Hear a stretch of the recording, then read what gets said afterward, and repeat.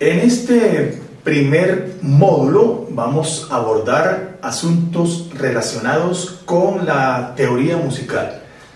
Toda persona que esté en un proceso formativo debe tener claro unos fundamentos básicos. Uno de ellos es usted debe y tiene que conocer la materia prima de la música. ¿Cuál es? Pues maestros, el sonido y el silencio.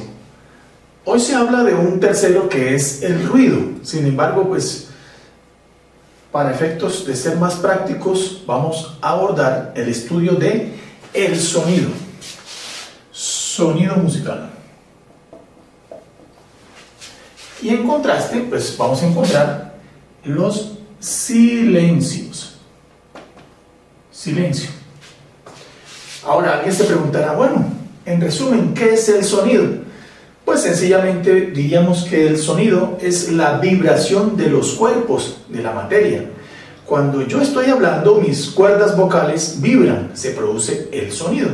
Cuando yo toco un piano, se produce el sonido. Cuando tocamos nuestra guitarra y rasgueamos, acá se produce el sonido. Entonces, en síntesis, el sonido y el silencio, digamos esos dos, podríamos decir que son la materia prima de los músicos. Con base en esto vamos a hacer música. Lo contrario del sonido, pues es el silencio. El silencio es la ausencia del sonido o la pausa, ¿no? Pues digamos que silencio absoluto, eso es muy relativo. Y, en fin, estos sonidos los vamos a representar gráficamente en la música cuando abordemos el estudio de las notas musicales, las figuras de duración, etc. Lo mismo con las figuras de silencio, ya los más adelante ya les voy a comentar. Entonces es muy importante, muy importante que conozcamos, digamos, de entrada la materia prima de los músicos, el sonido y el silencio. Recordemos que el sonido tiene unas cualidades o unos parámetros Alguna vez estudiamos en bachillerato estos asuntos relacionados con la acústica. Vamos a recordarlos. En primer lugar, hablemos de la duración, duración del sonido. Duración. Hablemos de, en segunda instancia, altura del sonido.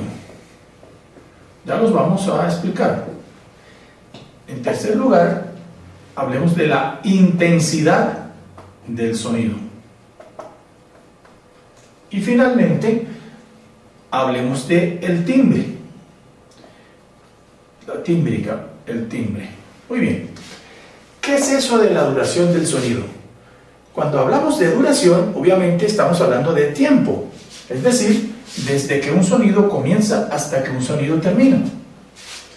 En síntesis, la duración del sonido es una cualidad que nos indica si un sonido es largo o corto. Voy a emitir en la guitarra un sonido relativamente, digamos, largo. Por ejemplo, voy a hacer un rasgueo con la nota La. Miren que se prolonga Ahora ese mismo lo voy a tocar de una forma muy, muy corta. Eso es algo muy básico. Ahora, alguien se preguntará, ¿cómo se representa la duración en la música gráficamente? Para ello vamos a necesitar convencionalmente unos signos y símbolos. Vamos a repasarlos. Más adelante los vamos a estudiar detenidamente. Pero Creo que todos conocemos estas figuras, la redonda, la blanca, la negra, la corchea, la semicorchea, fusa y semifusa. Son siete figuras que representan la duración del sonido. Bien, más adelante los las vamos a estudiar. Entonces, miren algo importante. El sonido está relacionado con los elementos constitutivos de la música. Digamos que hay varios, pero fundamentalmente hablamos de tres. Mencionemos en primer lugar el ritmo, el ritmo musical. Segundo, la melodía. Y en tercer lugar, la armonía. Bien, entonces, miren esto. La duración del sonido nos lleva hacia el primer elemento constitutivo de la música. ¿Cuál es? El ritmo musical. Esto está relacionado, ¿no? Más adelante ya les voy a explicar qué es esto de ritmo, melodía y armonía. Pero usted tiene que tener claro esto. Esto es lo primero que se estudia en la música, el ritmo y probablemente lo primero que pudo haber aparecido. Como segunda instancia tenemos la altura del sonido. ¿Qué es eso de altura? Es una cualidad, un parámetro que nos indica si un sonido puede ser alto, alto o bajo. Ahora, en música, a los sonidos altos, vamos a llamarles agudos agudos. Ya los vamos a explicar. Y los sonidos bajos, vamos a llamarles graves. Entonces, digamos que vamos a hacerlo con el piano y con la guitarra. En el piano, hacia la derecha, si yo toco un sonido, este es un sonido agudo, o sea, alto. Hacia la izquierda van a ser sonidos bajos o graves. Mírenlo acá. Ahora, hay otro registro que es en la mitad, sonido medio. Estos son los planos sonoros, altos, medios y bajos o graves. Como este es un curso de guitarra, pues obviamente vamos a aplicarlo a nuestra querida guitarra. Observe, escuche este sonido. Escuche este sonido sobre agudo, ¿no? Ahora, yo los invito para que discriminen témbricamente, ¿no? Las alturas de los sonidos. Observen esta, este contraste. Ahora, si yo toco, por ejemplo, un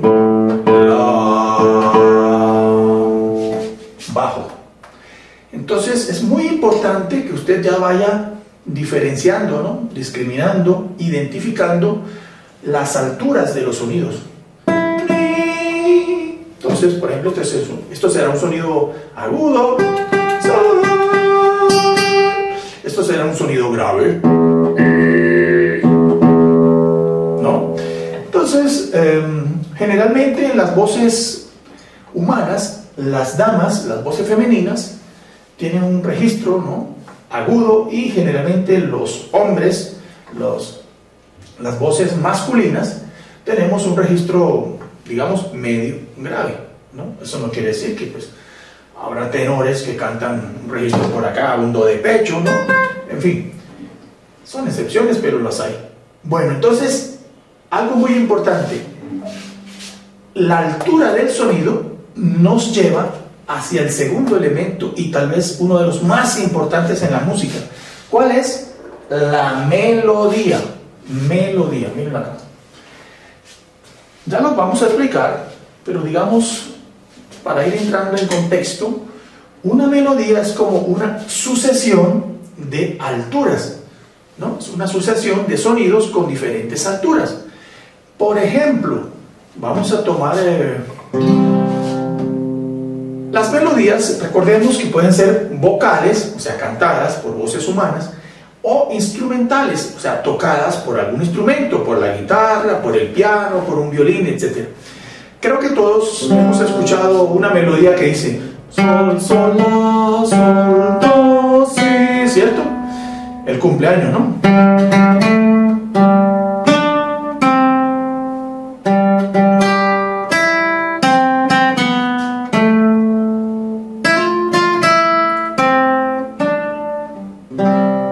Ahora, esto mismo yo lo voy a cantar, digamos un pequeño fragmento para que usted vaya identificando qué es la melodía con, relación a las alturas. Entonces yo aquí lo que hice fue sol, sol, la, sol, do, si, ¿cierto? Dice sol, sol, la, sol, do, si.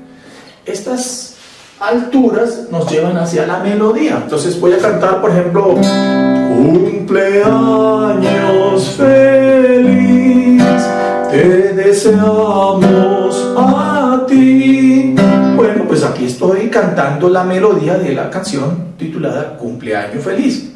Entonces, miren lo importante de saber las alturas en la música.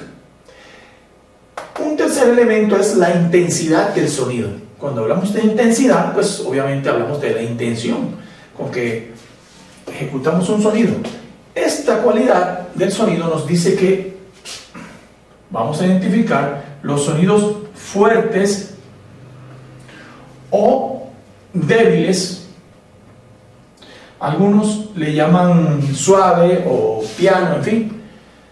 Pero lo importante, y perdóneme, quiero hacerlo más sencillo posible para facilitarle su aprendizaje, es que ustedes entiendan esto. La intensidad, es decir, cuando vayamos a, por ejemplo, miren que voy a tocar suave el cumpleaños que acabamos hace meses. Yo lo toco así. ¿Cierto? Ahora lo voy a tocar fuerte, ¿no?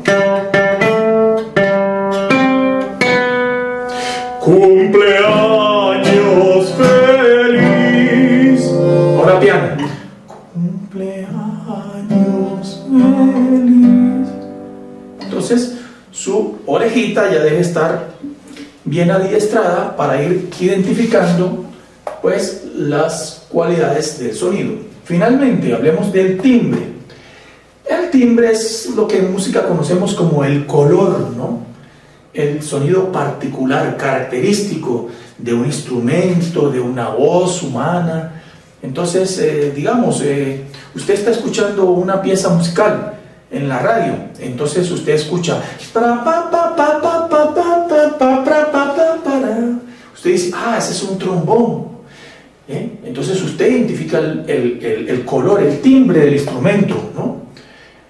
Usted no lo está viendo, pero identifica, lo reconoce por el timbre. Entonces el timbre es como el sonido característico, peculiar, particular de un instrumento musical, de una voz humana, no sé, cualquiera. Si pasa un avión, usted dice, ah, ese es un avión y no es un tren. Reconoce el sonido particular de esa fuente.